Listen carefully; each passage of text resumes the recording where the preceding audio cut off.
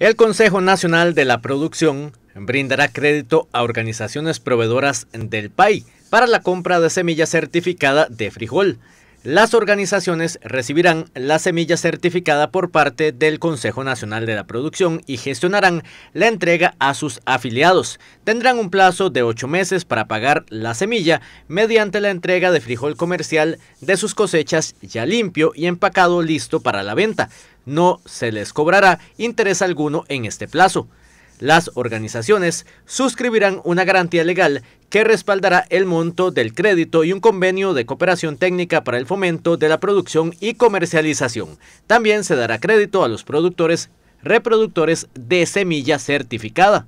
El CNP también trabaja en el acondicionamiento y equipamiento de dos bodegas climatizadas para el almacenamiento de granos básicos, una aquí en San Isidro del General, en la región Brunca, con el objetivo de apoyar a nuestras organizaciones de productores de granos básicos, el Consejo Nacional de Producción ha aprobado un crédito para acceso eh, de financiamiento para dar semilla a las organizaciones productoras de frijol para que reactiven el sector eh, granos básicos.